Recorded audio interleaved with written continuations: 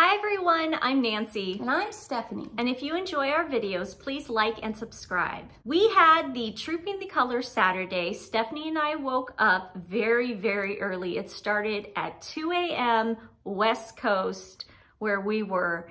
And it was totally worth it because it was the first Trooping the Color that King Charles was the monarch. It was also the first Trooping the Color in 37 years that a monarch has roan a horse Mm-hmm. because the queen did not do it in the last 37 years of her life because for obvious reasons. It was also the first time that Prince Edward was on a horse.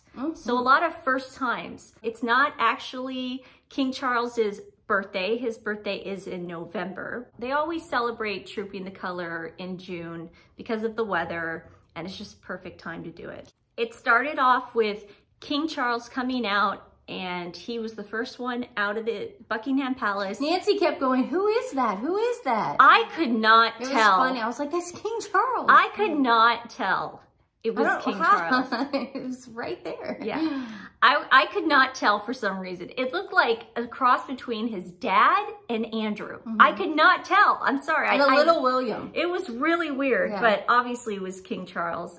This is why. Can I tell you why? Mm-hmm. Who, because he really knows how to ride a horse. Yeah, yeah. For uh, what is he? Seventy four. Yeah. He looked like a, a young man riding Yeah. this horse. I was just really surprised at King Charles's uh, riding skills. I I mean, obviously He's he done it his he's whole done life. it his whole life, but I just don't.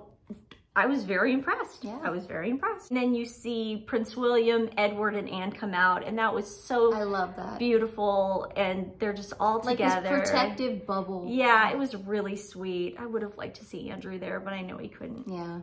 And then you see the carriages come out. We're all waiting to see what Princess Catherine is gonna wear. But she was wearing green because she is the colonel of the Irish Guards. Mm-hmm. So that was very fitting for. And her. was she wearing? She had the she shamrock. the shamrock. That's yes, right. and that shamrock has been passed down Mm-hmm. for many generations. The Queen Mother would wear that shamrock every time she would go visit the Irish Guards. I believe Princess Anne has worn that in the past, so that shamrock is very Mm-hmm. She special. great. She just looks so fantastic. And Queen Camilla, who is the colonel of the Grenadier, she looked wonderful in her red and her gold collar, and also like how she had that black hat that King's Guards hats, the you know big bear hats. like an homage. Yeah, it was very nice. Everything was very fitting, very military style, very pomp and circumstance. The parade was great. The kids got out of the carriage during the beginning of the ceremony and then they went up in the offices to watch.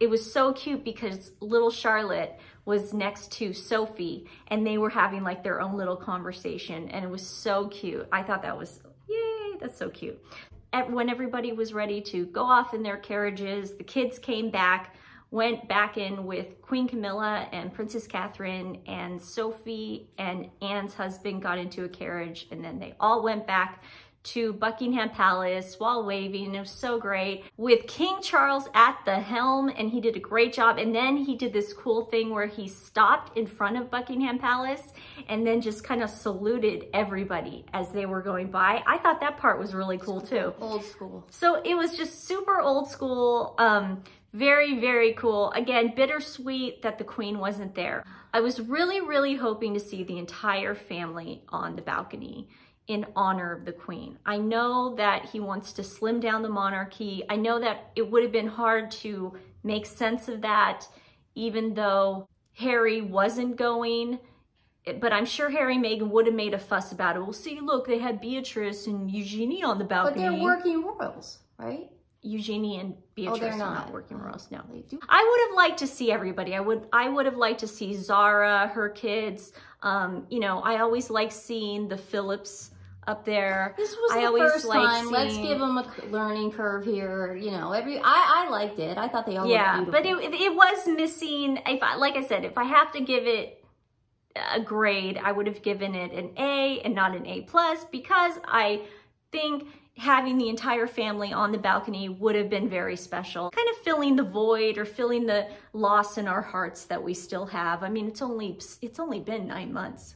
So it still is this loss in our hearts. So I think I think it would have been nice, but what do I know? But everyone looked great. Prince Louis, as usual, he makes a cute little, oh, did you see that? Yeah, it was cute. It's like, oh. He's all over Instagram and all over Twitter again, and I love him for so that. cute. He's just, he dominates. I know. And um, Prince William had this kind of endearing moment where he put his arms around Princess Charlotte and it looked really cute. And you could just tell they have a huge father-daughter bond. They're a very close family. The mall was packed to the brim. So those of people that were saying that nobody cares about this uh, monarch and the future of the monarchy, okay guys, try getting a ticket to this. Because You guys might want to try Earth sometime. yeah, try Earth. And there was also this really cute um, moment where Charlotte, she had allergies and she was kind of scratching her nose. And King Charles becomes a grandfather Mm-hmm. right away and he puts his arm around Charlotte to make sure she's okay. And Mm-hmm. I thought that scene was really cute Family too. first. There's a part where you could tell maybe a horse had to relieve itself a little bit and Prince Louis could smell it. That was kind of cute. PU. But um, I thought Princess Sophie looked fantastic. Everybody looked great. Everybody looked great. So Trooping of the Color, um, happy birthday to King Charles, and I'm sure we will wish you a happy birthday in November again, but it was a great Trooping of the Color. Yay. Yay. The day before the Trooping the Color, we get some news from Spotify. Spotify says that they are parting ways with Meghan and Harry. It's a joint statement, which means it's uh, was pre-approved by both camps, Spotify and Meghan and Harry. And it goes like this. Spotify and Archewell Audio have mutually agreed to part ways and are proud of the series we made together. The audio streaming giant and the production company launched by the Sussexes said in a joint statement. Archewell's camp is basically saying they're looking for another company Home? to go to another home. Now, you mean to tell me that you're at Spotify, which is probably one of the biggest streamers for podcasts Yes. anywhere. Yeah. This is It where is the yeah. biggest streamer. This is where Joe Rogan is, people. This is where Joe Rogan is, okay? It doesn't get any bigger than this. And they're like, we were number one at Spotify, but you know what? We're gonna we're gonna find another place to land. Mhm.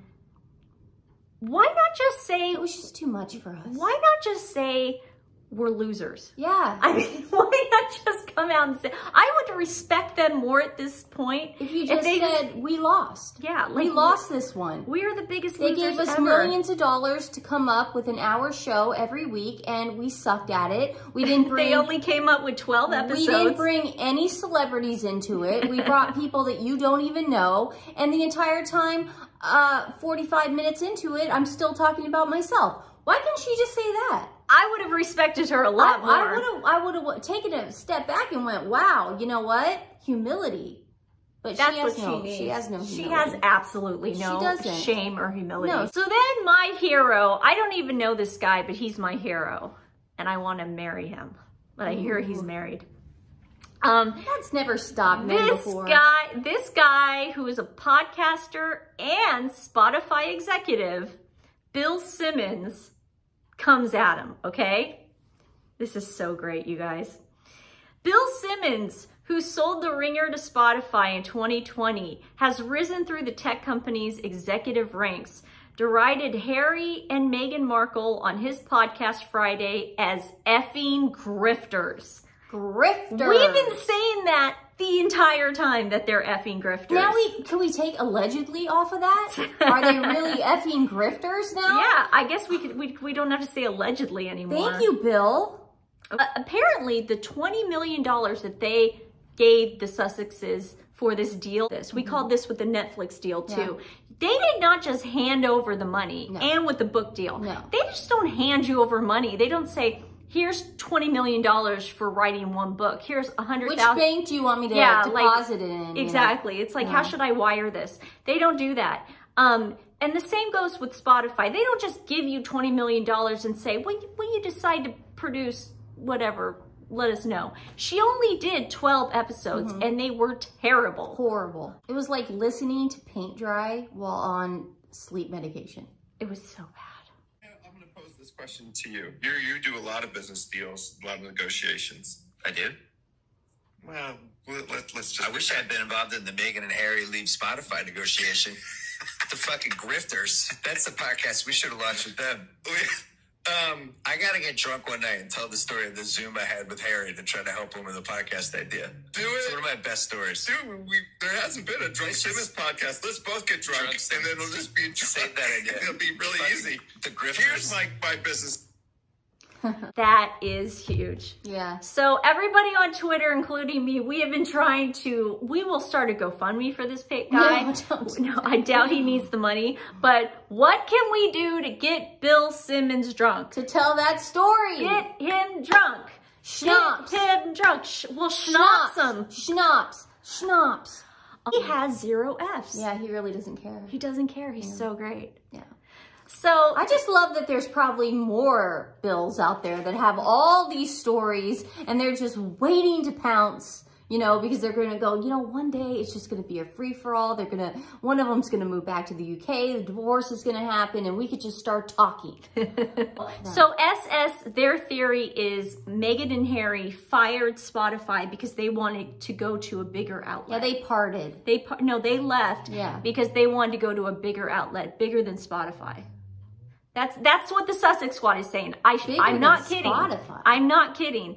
And um, this is not allegedly. This is what the narrative is going on in Sussex Squad world, in delusional world. Delusional land. um, it's so funny what they come up with. They're I know, but don't let them so get to you. um, I just said, I go, this is what she's going to do. She's going to start her own YouTube page because Mm-hmm. that's the only outlet she can go to at this point. Nobody's going to sign her. yeah, yeah. Nobody. Yeah. She'll do her TIG and then YouTube. Yeah, exactly. All of a sudden, an article comes up from the Daily Mail during Trooping the Color. Meghan does a pap walk. Wait!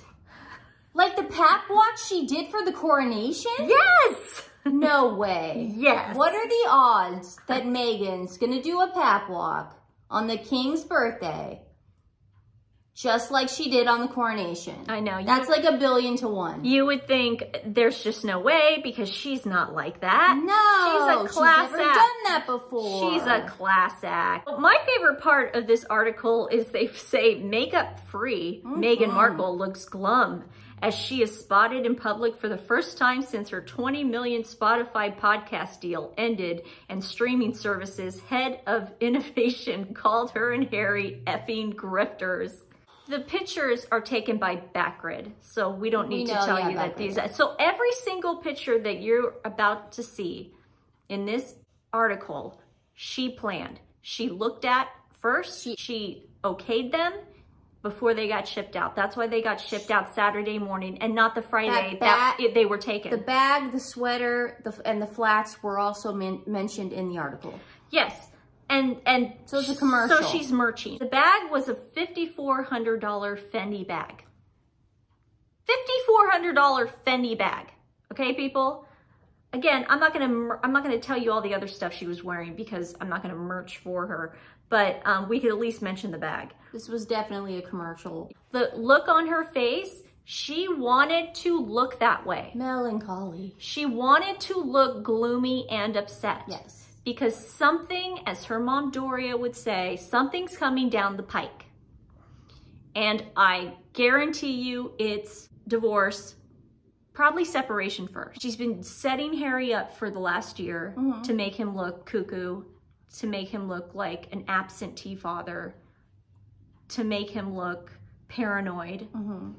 And it's working Yeah. to people that don't realize what she's doing. We obviously realize exactly what she's doing. The best thing for Harry at this point is to go back to Britain and just stay away from her. I, I know it's going to be hard with the, without the kids, but dude, the kids just just they'll be fine. Mm-hmm. They'll be fine, okay? Just I know it's hard, but they'll be fine. He, he needs to go back to the UK. He needs to get into some sort of rehab center. He needs to be close to his family and his, especially his brother. And he has to just get his life. Well, What does he want to do this for the next 30 years of his life? He's going to do this? He's going to just sue paparazzi papers gonna while she does what? What? I mean, she, you can't, you can't do, uh, I'm getting sick of it. And Meghan I, needs well, to, I know, but Meghan needs to sit down. she's not though. This this shows Okay, me you that don't she you don't do a pap walk on the king's uh, birthday trooping of color. you don't do it in a glum, Ho hum. sad way. Ho and again, guys, there's no paps in Montecito. Nope. There are no paps. Where are you getting this, Meghan? What and these and these crystal clear shots? She looks great. and it's Backgrid. Show me, show me it's not Backgrid. That do one yeah, pap shot that's not. thousand dollars. Yeah, a thousand dollars if the next uh, paparazzi picture is not Backgrid. Thousand dollars. It won't happen. No.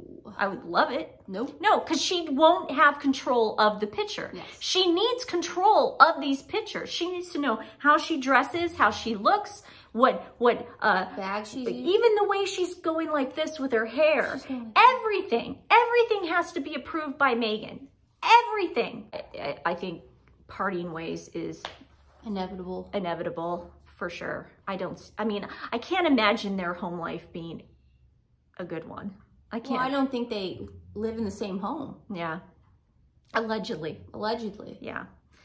And now there's rumblings, and I, this is only rumblings. I think it's her agent putting this in the atmosphere just to create a little buzz mm-hmm. that she's about to sign a major deal with Dior. Oh, that's interesting because he was the first of the rumblings that said, "Oh, I'm going to sign this with Dior," and now she's now the rumbling saying, "I'm going to sign with Dior." Well, so- because Dior did a really crappy job at dressing him for the coronation. Oh, that was a nightmare. so maybe they just went, whoa, Yeah. no. But now there's rumblings that she's going to get a deal, and that's the ranks, and that's um, in the same category as Charlize Theron, uh, Natalie Portman. yeah. Short of Rachel Zoe, no one is going to save Meghan Markle right now. That's Nobody. just my opinion. There is absolutely no way Dior's going to sign her. And the reason why is this isn't just the British royal family. This is the Swedish royal family. This is Finland. This is all over the place. This is Denmark. They wear Dior. Mm-hmm. So I just cannot, for the It's ju- life of me. It's just rumblings and it's it's gossip. Yeah, I don't believe it for a trying- yeah, second. if a if a agent's going to say that, they just want the Gossip. out there. Yeah. yeah, they just want to get her name in the paper. Distract, distract. Yeah, exactly. I don't think Dior's going to sign her. I just, that would be such a mistake. Because, and then the Dior, the past Dior that she's worn is always going to get remembered as the alleged baby bump mm-hmm. Dior and the alleged Mike in her lapel Dior. Yeah, I'm just. So I, I mean, I can't, I don't know can't what it is. Dior. It's one of those days that I just don't care about Meghan Yes. Markle. so one more thing. I went over to Mad Dogs and Englishmen bike shop to go see how they were doing giving away all those free bikes to underprivileged kids. I was really, um, I needed to know. So they have this new thing up on their Instagram. Mad Dogs and Englishman Bike Shop is assembling and donating 50 bikes to the Boys and Girls Club in Carmel by the Sea and Montecito, and another 25 bikes to Trips for Kids in Mill Valley. Okay, that guys. sounds good on paper. Now, Doesn't it sound? It sounds good great on paper. It does. It sounds good on paper. Now, if you know anything about Boys and Girls Club, is you, you'll know, yes, it is a nonprofit. However, the parents still pay for the programs. They're after school programs. Now that now that it's summer, it's a huge camp program. This isn't some underprivileged kids in the inner city. These are children in Carmel, California and Montecito, the two richest zip codes in California. I'm not kidding. I've been to Carmel, I've been to Montecito, okay guys? There is nothing underprivileged about these children. Nothing. so you're saying they can they could go definitely to find some. I think real they can really find okay. some underprivileged kids. They're just doing it for. This is the most ridiculous thing I have ever seen. And oh my goodness, every single uh, Sussex squad that gave money, you guys have been hoodwinked.